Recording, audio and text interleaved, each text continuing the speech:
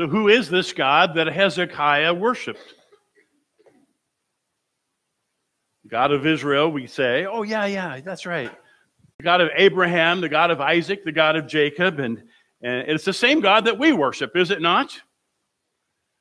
We have a Judeo Christian faith.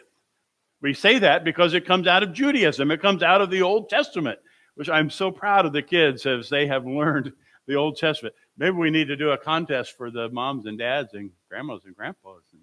Hmm. Wow. There's so much about God that we don't know. But there is quite a bit about him that we can know if we seek for him and we search for him with all our hearts. We say, ah, Pastor, I know all about God. I'm afraid we are guilty sometimes of, of knowing just enough to think we can get by and say, oh, okay, that's all right. When God invites us over and over and over, know the Lord. Know the Lord.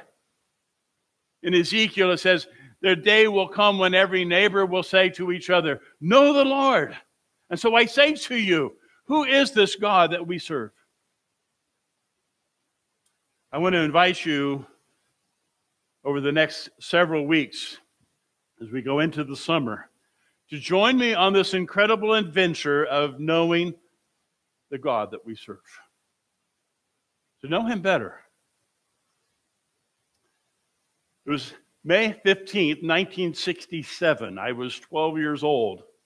And I didn't know very much about the Middle East, knew nothing, heard of it. Israel was celebrating their Independence Day and they were rejoicing in the fact that they had become a nation not many years before. But there were ominous clouds on the horizon because their Independence Day was overshadowed by Egypt, Jordan, Syria, Iraq, and Iran, who had surrounded Israel and said, It's our intent, we're going to wipe them off the face of the earth.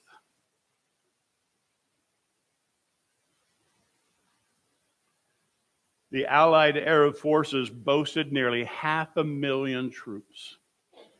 Israel. Israel's not very big. Israel could muster maybe 200,000. Half a million troops surrounded on every side. The naysayers were saying we need to get ready for the second Holocaust. They began preparing, enlarging their hospitals, they had set aside parks for burial spaces. The doomsayer says, We're done. we might as well surrender. We might as well give up. Backed by the Soviet Union, the Arabs possessed twice as many tanks, four times the number of aircraft. Israel turned to the United States. I'm trying to remember who the president was. In. Was it Nixon? 67? Ford? Somebody help. I don't know. You have to Google it. Was it Johnson? 1967. Really? 64, 63. It was Johnson, Lyndon B. Johnson. Not necessarily known to be a friend of Israel, by the way. Israel said, You got to help us. Well, we don't we don't want to get on the wrong side of the Soviet Union and the Arabs, so we're just going to stay out of this. And we did. The Arab nations rubbed their hands together and licked their chops to say for the imminent massacre that was going to happen. Hmm. The president of Iraq declared the existence of Israel is an error that must be rectified. This is our opportunity to, to wipe the ignominy which has been with us since 1948. Our goal is clear to wipe Israel off the map. Isn't it interesting that 50 years hasn't changed much, has it? President of Iran, our goal is to wipe Israel off the map. The spirit of fear and despair hung over the nation. The dream of a Jewish state seemed to be about to be snuffed out. The surrounding Arab nations anticipated a quick and complete end to the nation of Israel. What they didn't anticipate was the fact that God was the defender of Israel. The anticipated defeat would be their own. I didn't know much at 12 years of age, but I have done some reading. That 12, that, that, that six day war literally was over in three days. And we began to read some of the miraculous things that happened. Okay? June 5th, the war started. They fired missiles into Israel. Israel responded, put their planes in the air, flying low over the airspace so as not to be detected. And, and the radar in Jordan picked up there's aircraft flying, and they signaled to Egypt, you better watch out, they're coming. What Egypt didn't know was that they had changed the code and they didn't get the message. Miraculously, it was as though something intervened, and, and Egypt was unaware that Israeli jets were headed their way. Over 300 Egyptian aircraft and Jordanian aircraft were destroyed on the, on the, on the ground. Didn't even get off the air. That was day one. Wiped out their Air Force.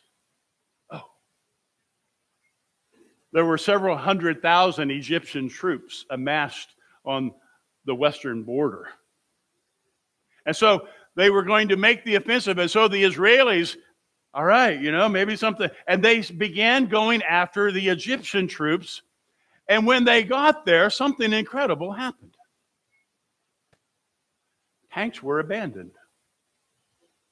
The, the Egyptian army, for some reason, was thrown into confusion and they heard bombs going off and they, and they literally ran back to Egypt, left their tanks, their artillery, and, and everything and, and, and went back home. When the Israelis got there, like, where is everybody? Where, where, where, what? So they, they took all of the armament that was abandoned, and it, it, it was enough armament to outfit five regiments of Israeli soldiers tanks, artillery. Wow. By this time, things were beginning to, the, the Arab forces are going, what is going on here? We're, this is day two. Day three, the Arabs wanted to make a ceasefire. And so they said, whoa, whoa, whoa, whoa, whoa, we want to call a ceasefire here. Where they began to see the handwriting on the wall. And, and so Israel's like, well, we're open for that. But it was a ruse, and the Arab says, we're not ceasefire. No, we're going after you. On the northern bank of Syria, there was 76,000 Syrian troops that were in the Golan Heights region, and they were entrenched and they were embedded. They had underground bunkers. They had been preparing for this for, for years. Israel had a handful of soldiers that said, What are we going to do? So we're going after them. When they went after the 76,000 Syrian troops, the record says that when they began their offensive, they discovered that the Syrians had fled their own positions in retreat, leaving behind their ammunition and their hardware. It was as though something had come against them, and they're like, We're out of here. And they took off. That was day four. Basically, the war was over. All they did was continue to take more territory. They began to enlarge. They, they took the, the western side that's called the West Bank. You hear that? It included the old part of Jerusalem where the Temple Mount was. They took the Golan Heights. They took all of this territory that had not been in Jewish hands for over 2,000 years. They took Hebron. And in just six days, the Arabs said, "We give up. We're, we're done. We're, we're, we're." They called a ceasefire, and, and Israel gained the victory. Now, historians look at that and go, whoa, what happened? Were these Israelis so such good fighters that they that they that they put the enemy on the run? No. In fact, Israel itself rejoiced. God has defended us. God has fought for us. We don't know why they they ran. We don't know why we have that. We don't. We just know that God has performed a miracle, and we still exist.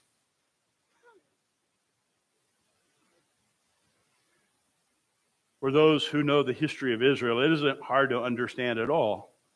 God was the defender of Israel. He has been from the very beginning and he will continue to until the very end.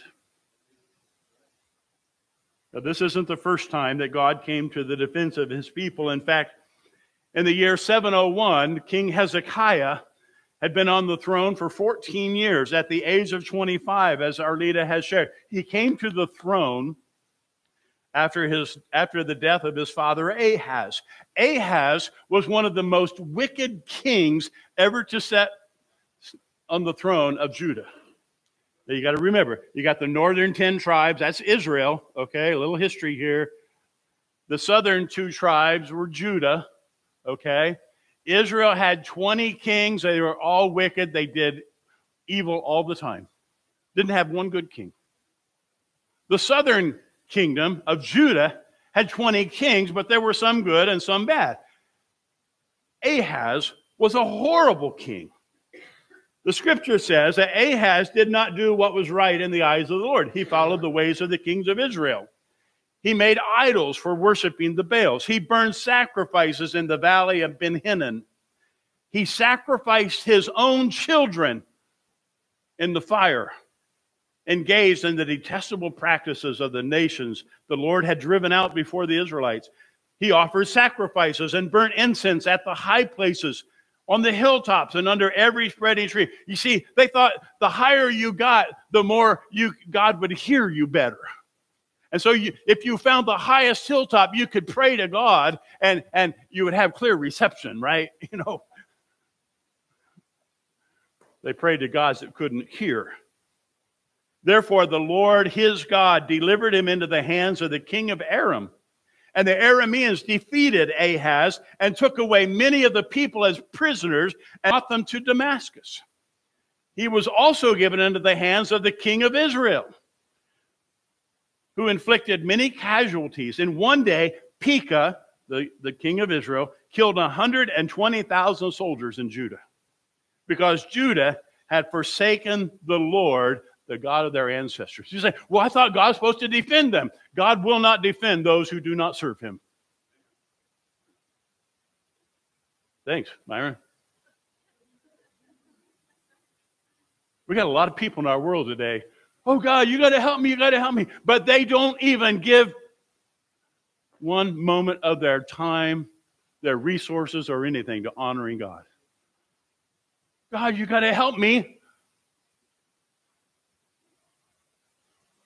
Let me just add here any nation that decides that they don't want to follow the Lord, they don't want to keep his commandments, that nation is going to suffer. We look at nations around the world and say, why are they always so poor? Why are they always in poverty? Why are their people in anguish? Because their leaders and their government have forsaken the Lord.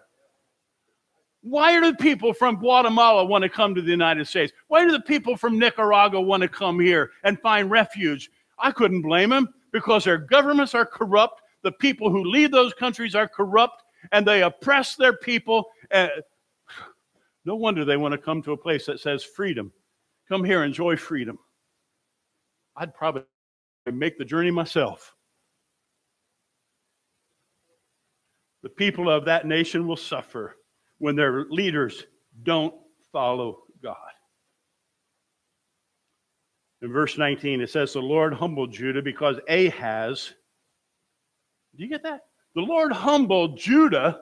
He humbled the whole nation because one king refused to follow the Lord. He promoted wickedness in Judah and had been most unfaithful to the Lord. It goes on to say, in every town across Judah, he built altars to burn sacrifices to other gods, arousing the anger of the Lord. He led the people in sacrificing his own children on the altar of Baal.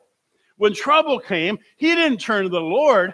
Instead, it says that he became even more unfaithful to God and offers sacrifices to the gods of his enemies, thinking, well, their gods help them. Maybe their gods will help me.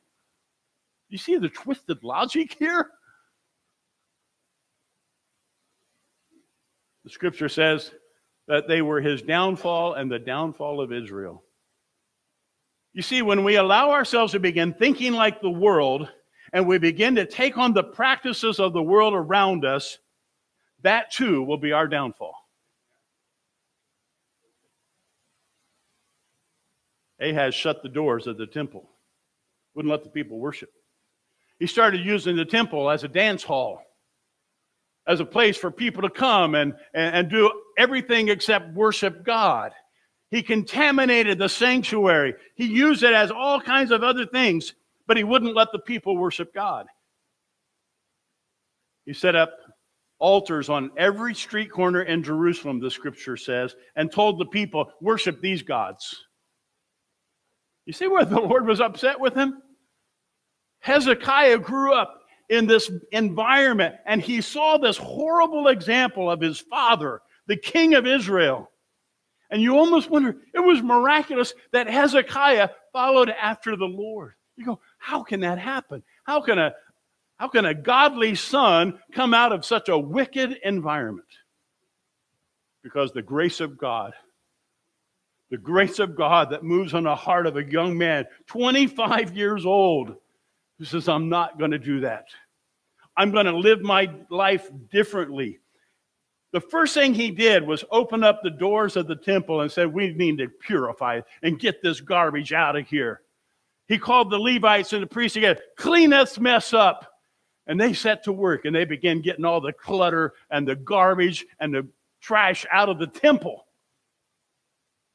Took them how long? Nearly two weeks. Almost three weeks, 16 days to clean all of the garbage out of the temple.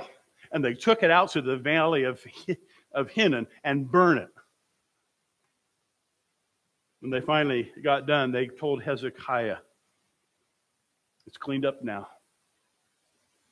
And he said, Great, we're going to start worshiping the Lord. In chapter 29, he says, Our parents were unfaithful. They did evil in the eyes of the Lord, and God forsook them. They turned their faces away from the Lord's dwelling place and turned their backs on him. They shut the doors of the portico and put out the lamps. They did not burn incense or present any burnt offerings at the sanctuary to the God of Israel. And the anger of the Lord has fallen on Judah and Jerusalem. He's made them an object of dread and horror and scorn. Look, look, you can see it with your own eyes, he says.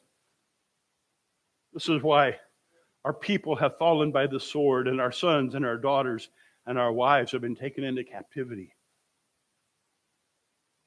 Hezekiah knew why Judah had fallen on hard times.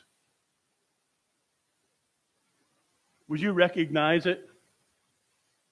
if in our own land we've fallen on hard times? Or would we kind of, oh no, it's, all, it's, yeah, this is the way things go, you know? This way it is. This is the new normal. This is, okay, just get used to it, okay? Some of us have lived in a time where the church doors were open and people came. The lights were on Sunday morning, Sunday night.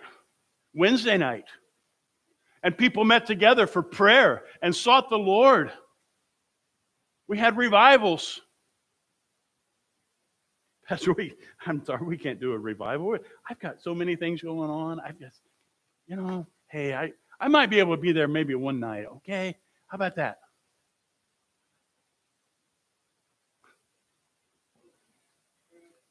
Sometimes we don't want to acknowledge that the practices of a people have any effect on the way a nation goes, but I'm here to declare the wickedness of our leaders and the arrogance of our nation will be our downfall. When we turn our back on God as a nation, Don't think that the outcome will be any different for us than it was for Israel. Doesn't work that way. This Memorial Day, we'll have politicians give speeches. And you know how they always end their speech? God bless America. What hypocrisy. What, do you mean, Pastor? Aren't we, don't, shouldn't we ask God to bless us? I'm embarrassed to ask God to bless us. How can we ask God to bless our nation when we're guilty of turning our backs on God? How can we ask God to bless our nation when we allow the murder and the annihilation of the unborn a thousand every day? How can we seek God and ask Him to bless us when we promote drug usage? And since when did liquor stores become an essential business?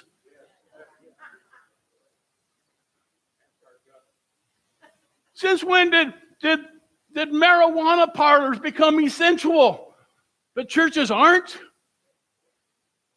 So don't get excited, Pastor. I am getting excited. This is our nation. And if we don't fight for it and we don't stand up for it, we're going to lose it. Our children are being taught socialism in the classrooms and the universities. Uh, this is the way to go. Wake up. How can we ask God to bless America when we're consumed with greed and corruption at every level of government? Locally, you ever see any greed or corruption here in Marion? Two and a half million dollars may not seem like a lot of money to the city council, but it sure is a lot of my taxpayer dollars and yours that disappeared and nobody cares. Shame on them. How can we ask God to bless America when pornography has become the scourge of our generation, destroying our young men and our young women, destroying their ideas of what godliness and marriage and sexuality is supposed to be? How can we ask God to bless America when these things are just common and normal? We go, well, that's the way it is. How can we ask God to bless America? When 860,000 children a year are taken, they disappear into the sex trafficking trade. And not a word is said. How many? 860,000, according to statistics that our own government keeps. What happens to them? They're sold over and over and over. Sometimes they end up in Thailand and Vietnam. Sometimes they end up in Europe. God bless America. No. It's time for us to repent, to turn away from our wicked ways, fall on our faces before God. Say, God, I'm sorry. We ignore the God of Israel and we promote the God of Islam and Buddha and every other false God that and, and we don't give glory to the one who has blessed us beyond measure.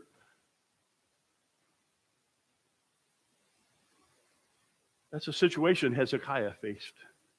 Same thing. Same season. What a lesson we have before us, dear church. What a lesson. We better learn from it. We better learn from it. The reforms that Hezekiah enacted brought about the blessings of God. Read these chapters for yourself. We don't have time to read them all here. Read them for yourself in Chronicles and Isaiah. When we choose to follow the Lord and walk in obedience to his word, it brings God's favor upon our lives. Is this thing working? Hello? Is this working? We say, oh, we enjoyed the favor of God. Yes, we have, but it won't be forever if we don't return to the Lord. It doesn't mean you're not going to have troubles and hardships. In fact, Hezekiah found that out because In the 14th year of his reign, Sennacherib, the king of Assyria, Assyria, that name sounds familiar. Oh, Syria. Oh, okay. The capital of Assyria is a, is a place called Nineveh. Nineveh. Nineveh was one of the most vile, horrible places ever on the planet to live. Remember Jonah? Remember the prophet Jonah? And God said, Jonah, I want you to go where? To Nineveh and preach against the wickedness of that great city. and, and Jonah immediately obeyed, right? he said, I'm not going there. I no way. I am God, you got the wrong fella. I'm I'm going that way. And he headed towards Spain. well, the Lord found him. the Lord caught up with him. Sennacherib came and he knew about his father Ahaz. Ahaz had made these shaky alliances with Egypt. When Ahaz was being attacked by the Arameans, he sent word to the Egyptians, You got to help us. Oh, we're being attacked by the Arameans and, and they're, they're horrible. And, and no. Did the Egyptians come and help them? Nah. when Pekah came and, and, took 120, killed 120,000 soldiers, he, he cried out to the other, You got to come help. Did they help? No. And so Sennacherib knew that his father was weak. You got a weak father, you probably have a weak son, right? And Sennacherib began to attack the outskirts of Judah. In fact, they kept marching closer and closer to Jerusalem. In fact, they had Jerusalem surrounded. And they decided, you know, we're going to send an envoy. We're going to send the uh, my chief of staff and my chief military advisor, and uh, we're going to cut you a deal, Hezekiah. Tell you what we're going to do. And this is outside the city wall, okay? And he says, uh, You might as well just give up. You, you think your God is going to help you? You think this God that you serve that nobody can see is going to hear your cry for help? He's not going to help you any more than the gods of these other nations help their kings. Hezekiah, tell you what, we're going to give you a peace treaty, a ceasefire. You sign right here, and all your people will take them back to our city. And we'll give them food, and we'll give them a place to live, and they'll enjoy all of the blessings. In fact, he says, Hear the words of the great king, the king of Assyria. This is what the king says. This is in Isaiah 36. Do not let Hezekiah deceive you he can't deliver you. Your God is weak. Do not let Hezekiah persuade you to trust in the Lord when he says, The Lord will surely deliver us. This city will not be given into the hand of the king of Assyria. Don't listen to your king. This is what the king of Assyria says Make peace with me and come out to me. Then each of you will eat fruit from your own vine and fig tree and drink water from your own cistern until I come and take, take you to a land of your own, a land of grain and new wine, a land of bread and vineyards. Do not let Hezekiah mislead you when he says, The Lord will deliver us. Now, he said this in Hebrew because all the people are on the wall and they heard this. And they're going, well, that sounds pretty good. He's, he's going to he's gonna give us food. He's going to give us our own land. He, he's promised us our own house and our own well and our own fields and vineyards. And ah, wow, that sounds really good. Huh.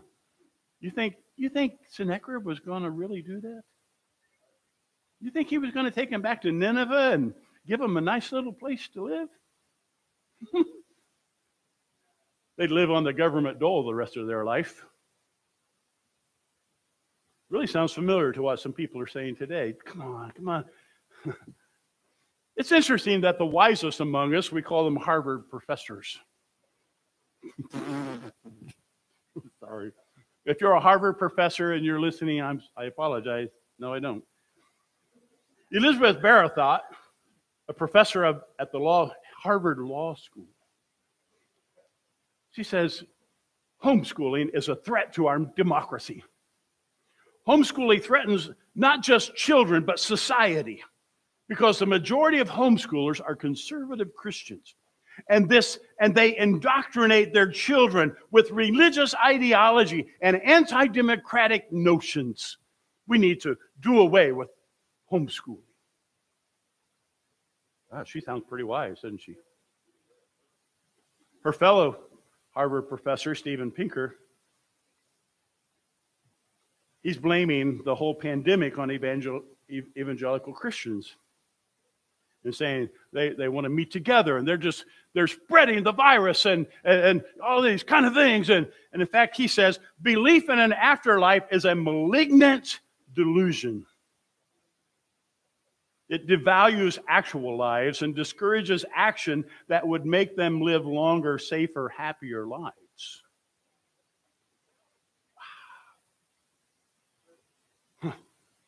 One has to wonder what wisdom these professors will use when they stand before the God of heaven and say, You don't exist.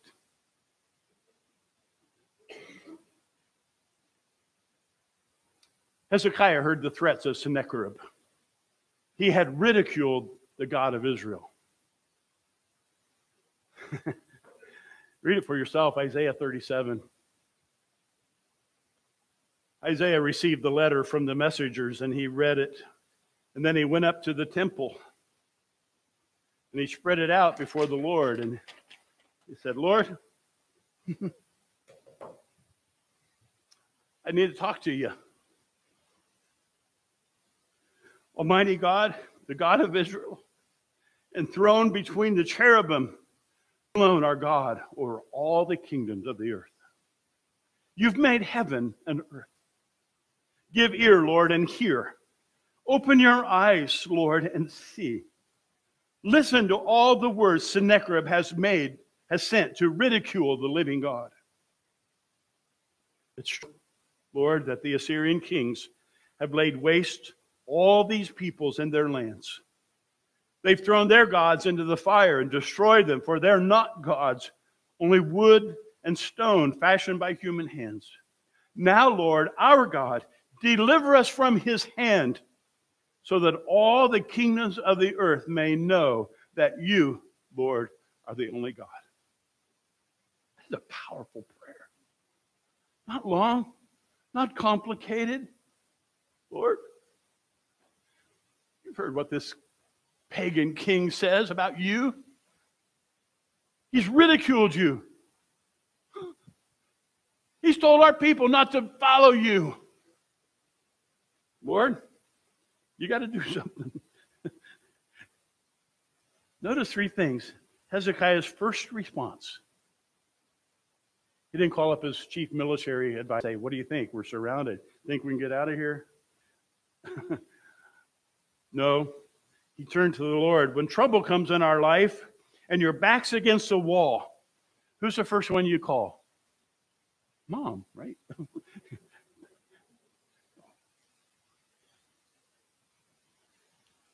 no, he turned to the Lord, and it helps us to know that for the last 14 years, it had been a pattern in Hezekiah's life to trust in the Lord, to depend on the Lord. And God had blessed the work of his hands and had blessed Judah the people had prospered. The people were worshiping. They, and they even invited Israel. Hey, you guys, we're holding services down at the temple. Hey, you guys, we're holding services down here at the church. What are you talking about? Yeah, we're offering sacrifices for Passover. If you want to come, we invite you to come. Wow. And they came. And they had a great celebration. I love that part you read, earlier. When they sacrificed, did you see what they did? Three different times. They bowed before the Lord and worshiped. They bowed down before the Lord and worshiped. And they brought their thank offerings. Lord, thank you. And they brought their sacrifice. They began to sing the Psalms of David. For the last 14 years, the Lord had been faithful. I love that song. All my life, Lord, you've been faithful. All my life, you've been so, so good. I don't expect you to change now. You know, you always have more confidence to pray when you're doing the right thing yourself. And Hezekiah had sought with all of his heart to follow the Lord, and he could pray with confidence to say, God, I need you. Secondly, Hezekiah identified the power and the greatness of God. Lord, enthroned between the cherubim, you alone are God over all the kings of the earth, over Sennacherib and Pekah and all the other kings. You're the great king of heaven. You rule from heaven with power and authority. When you know that there's one who is on your side against whom no one can stand, you know what? That gives you confidence. Hmm. He doesn't ask, Hezekiah didn't ask for a battle plan or some kind of military victory when he knew he was outnumbered and overwhelmed. He just said, Lord, you've been faithful to us. You've been on the side of Jacob, and we don't have to be afraid. Hezekiah had seen what his father had done when he put his trust in other gods. That didn't work out real well.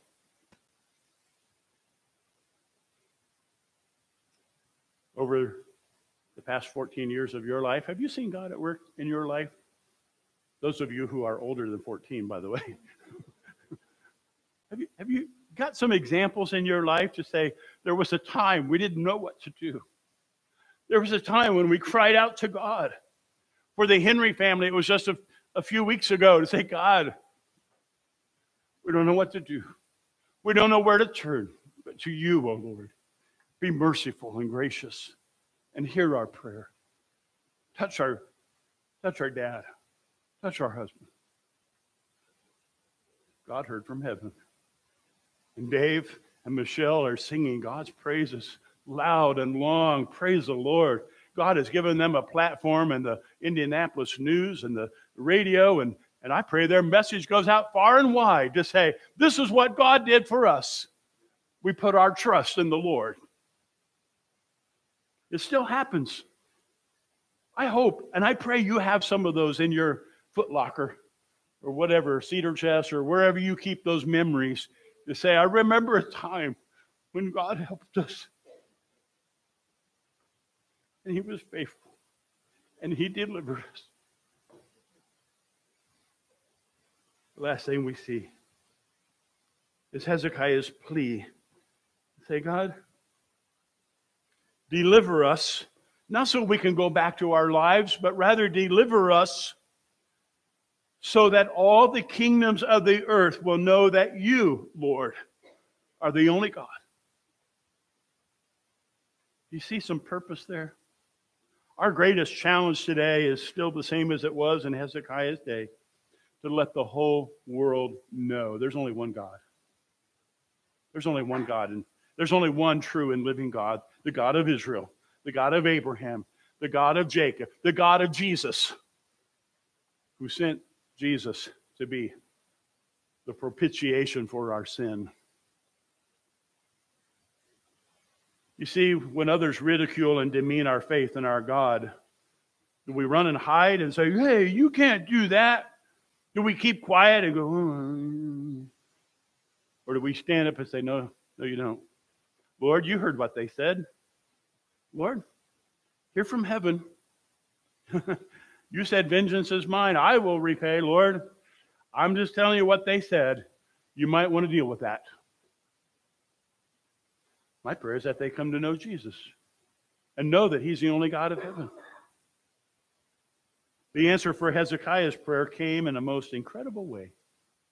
You got to read a little bit farther along in the chapter. In verse 36, it says, And the angel of the Lord went out that night and put to death 185,000 Assyrian in the, in the Assyrian camp.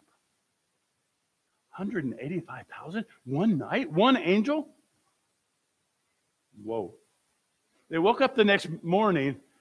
Hey, hey, Bob, wake up. He's dead. Joseph, where? He's dead. All over the camp were dead bodies. You might want to be careful when you ridicule the God of heaven and you speak out against him and say, Don't listen to him. Ah, don't listen to your grandpa. He's just an old guy that just kind of rants once in a while. He'll get over it. Myron? once in a while you got to rant, you know. Sometimes you just got to go, listen. My grandchildren, listen. There's a God in heaven who loves us. A God in heaven who made us.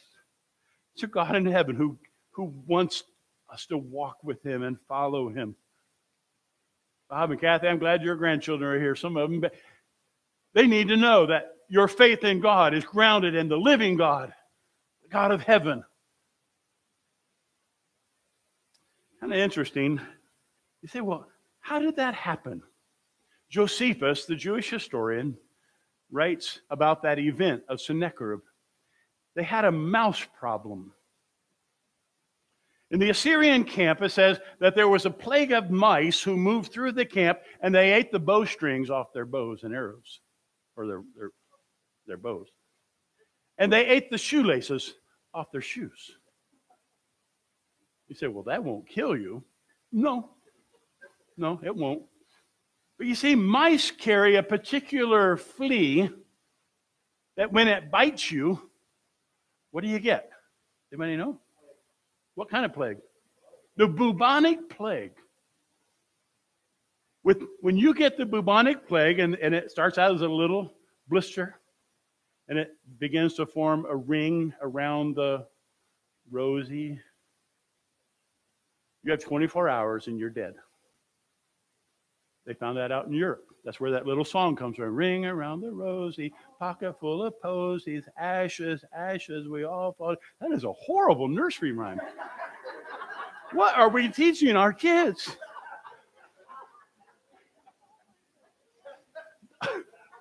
People would carry posies in their pocket to hold up to their nose because of the stench of death. Bodies were piled in the streets and they would come and bring the ashes to throw over the bodies to, to, to quench the smell. The bubonic plague. Ah! Far worse than a virus, by the way. There's no cure for the bubonic plague, by the way. You can't get a vaccination. But Josephus says, huh, plague by mice. Hmm, wonder if God could use mice for his bidding. He did use a giant fish one time. Huh. He did feed Elijah with a, a raven. I wonder if God could use the animal kingdom for his glory.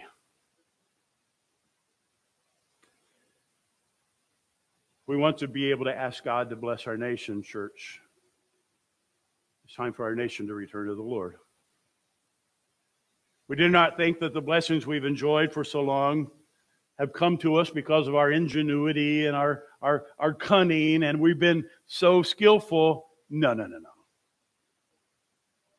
We have been blessed as a nation. Abundantly blessed. Wow. King Solomon would look at us and go, Whoa, I want air conditioning like you have. I just got a servant with a big old palm leaf, you know. Man, you can just go back there and crank it down. Wow. You got color TV, big screen color. Wow. No, we've been blessed. It's not because anything we've done, it's because of the God we serve. It's time for us to return to the Lord and seek his favor. It's time for us to tell our neighbors seek the Lord. Seek the Lord. Seek the Lord while he may be found. Do you know Jesus? Hey, don't be pushing that Christian stuff on me. I'm not pushing, I'm just telling you that God loves you. And He wants to bless you, He wants to show you His favor. Church, church, thank you, Laney, for picking that song. Build your kingdom here. Build your kingdom here, Lord, and use us. Wow. Would you stand with me this morning?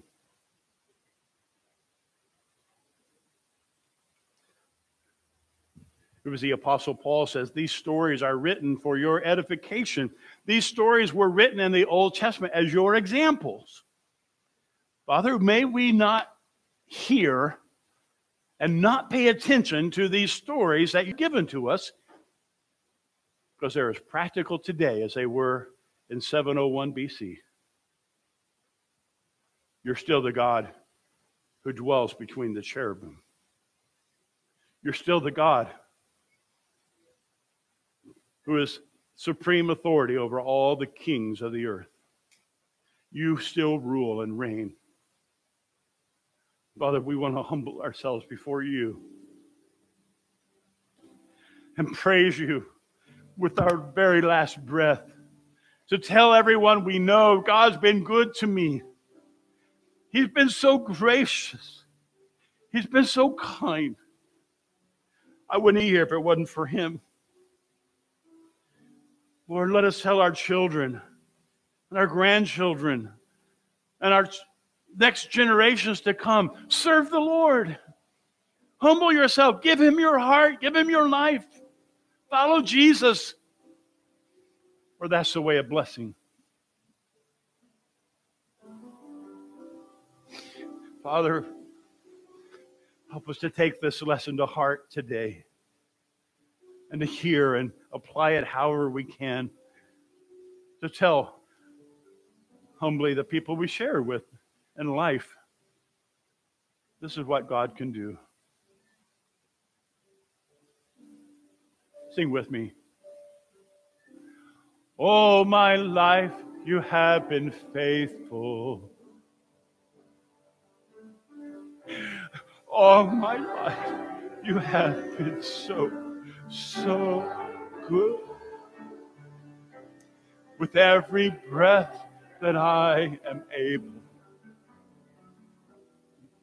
I will sing of the goodness of God.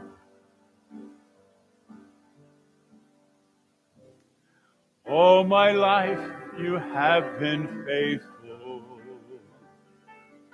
All, all my life you have been so, so good. With every breath that I am able,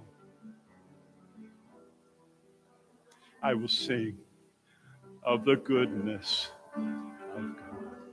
Amen. I will sing of the goodness. Amen. Let that song be on your heart as you go and tell somebody how good God's been to you. Amen. Amen.